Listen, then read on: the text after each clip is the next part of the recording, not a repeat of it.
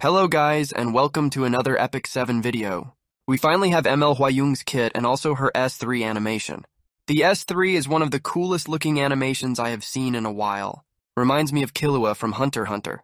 Sadly, I cannot show the S3 animation, otherwise the video will be taking down, but you can find it in my Discord if you are interested. Now let me show you her kit and give you my thoughts. But keep in mind, these info are not official or confirmed yet, so take all of this with a grain of salt. Alright, first, ML Hwayoung is a Dark Warrior, and she will share the same base stats as ML Bellona or Rem, for example. As for her kit, we have her S1, and it's a very basic S1 with single target damage and self-combat readiness push. This will help her cycle her turns in order to use her S3 fast. The CR push should be 20% after you max Mola the skill. Second, we have her S2, and it's one of the most broken passives we currently have. It makes her immune to all debuffs and buffs. This can work wonders or work against you depending on the final release of the hero. Being immune from debuffs means she will be able to counter and deal with heroes like ML Luna, or any heavy debuffer in general. I'm also sure she will be immune to Seal as well.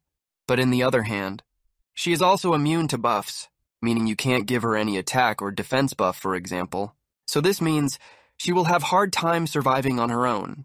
Her S2 also allow her to nuke with her S3 when an ally takes 40% or more damage from a single attack.